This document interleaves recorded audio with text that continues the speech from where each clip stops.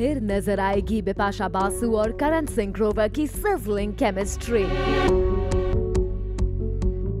off screen couple Karan और बिपाशा का साथ में स्क्रीन शेयर करने का सपना हो सकता है पूरा।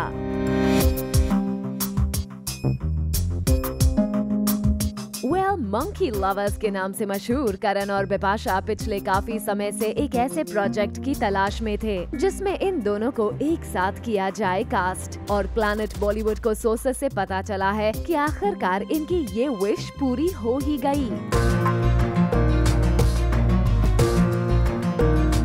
और बिपाशा को प्रोजेक्ट ऑफ़र हुआ है। वो भी उनकी फ़िल्म अलोन की तरह ही हॉरर जॉनरा पर बेस्ड है। और इस बार बिपाशा को नहीं, बल्कि करण को प्ले करना है ग्रे शेड कैरेक्टर लेकिन जहाँ इस प्रोजेक्ट के लिए ये कपल काफ़ी एक्साइटेड है, वहीं अभी तक इन दोनों ने ही इस प्रोजेक्ट को हाँ नहीं कहा है।